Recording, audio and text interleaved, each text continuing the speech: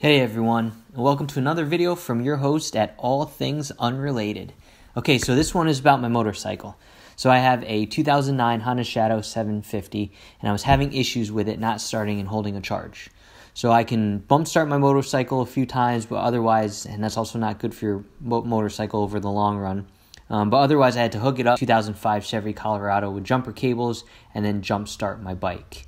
Even when I charged my motorcycle battery with a trickle charger, it was still not enough to crank my bike up. So now let me tell you my problem more in depth in case you have the same issue. So I would turn the key and the bike's electricity would come on with no problem.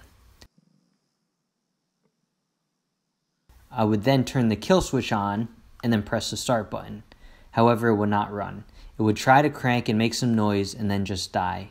So the bike was getting electricity, so for some reason the battery wasn't charging either, even after riding it for some time.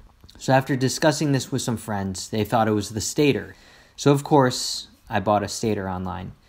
We went to put it on, but after taking the bike apart, we realized we had to drain the oil first in order to change the stator, and we were just not prepared to do that, which actually turned out to be a good thing. Here's why. So my friend started to just troubleshoot other areas and look at fuses just in case. He wanted to hear the problem since all he knew was just me explaining the issue to him so he wanted to hear and see it firsthand. So I tried to crank it, and he discovered something. There was this loud, rapid clicking noise coming from the right side of the bike. This happened to turn out to be the rectifier.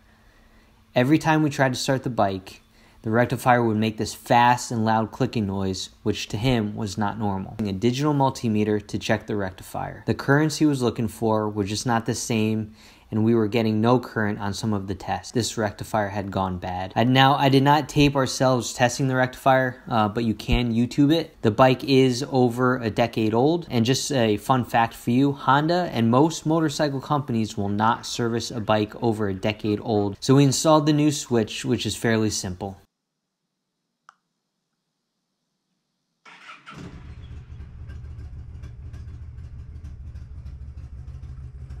Ensure you use your choke. We also changed out all of the four spark plugs, so ensure that you have the special size tool, because we learned the hard way on this too, is a 18 millimeter spark plug wrench for Honda. And you can buy the spark plugs at your local AutoZone, or I got mine at a local O'Reilly's. I am not sponsored.